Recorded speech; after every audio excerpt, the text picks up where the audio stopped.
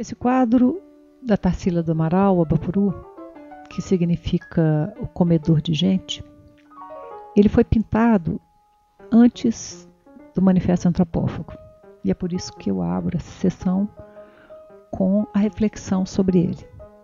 É um quadro muito importante para a fase seguinte, que vocês vão ver também jogado ao longo do manifesto, de cinco ou seis obras que a Tarsila dedicou a pensar, refletir e expressar em cores, movimento, profundidade, em formas, algo que seria uma força mítica com a qual ela estava fazendo contato. É exatamente isso que inspirou Oswald e seus colegas a pensarem o movimento antropófago.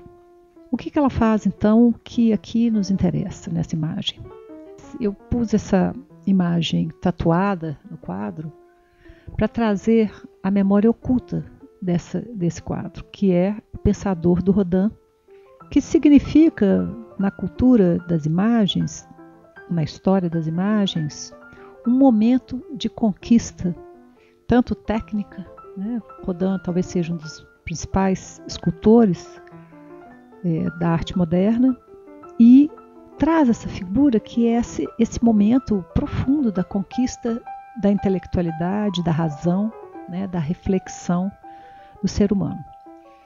Então, o que a Tarsila faz com essa referencialidade quando ela projeta esse quadro no Abapuru? Ela faz uma inversão dos valores. Né? Esse quadro ele não reproduz o pensador, mas ele pensa o pensador de uma maneira crítica ao fazer a sua paródia, que é exatamente o dispositivo de você tomar uma mensagem e transgredi-la, transformando a direção do seu sentido. Então, o que, a Tarsila, quando eu digo que ela, ela modifica os valores, essa é uma, essa escultura do Rodin, ela é de bronze, uma escultura pesada, é, muito apropriada para essa, essa consciência né, que esse homem expressa. Então, no primeiro plano, o que é importante é a cabeça do pensador, né? o homem que pensa. E o que, que ela faz? No Abapuru, ela traz todo o peso da imagem para a corporalidade, para essa questão física que se coloca no quadro, ocupando praticamente toda a imagem. Esse homem enorme que tem uma cabeça muito pequena no horizonte, né?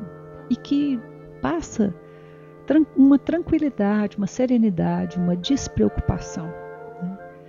Nisso ela, obviamente, nessa paródia, ela está fazendo humoristicamente o que, que esse selvagem né, estaria preocupado, o que poderia preocupar esse homem que está ali sentado tranquilamente, juboiando.